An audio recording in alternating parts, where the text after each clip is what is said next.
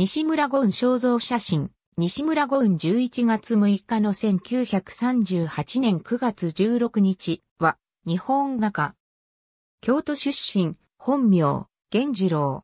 日本画家の西村拓造は息子。動物画を得意とし、動物の生態を生き生きと捉える。その描写は、死の竹内聖宝をしのぐとも評された。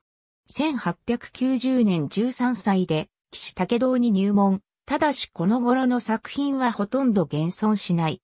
畜道没後の1899年に竹内聖宝に指示。1907年の第1回文典で白熊が三等賞を受賞。しばらく文典には不出品だったが、1911年の第5回文典では牧場の湯で北条、宮内庁買い上げ。1913年に京都美術工芸学校教諭に就任するも、同年長男を亡くした新郎で、神経衰弱に陥る。病状が回復し商品が制作できるほどに回復するのは1917年まで待たねばならない。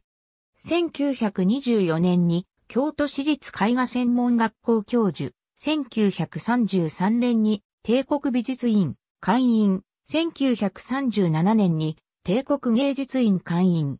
晩年のゴーンは名声を得たが、生来病弱で、関節展などの大きな展覧会にはあまり出品しておらず、対策や作品数も少ない。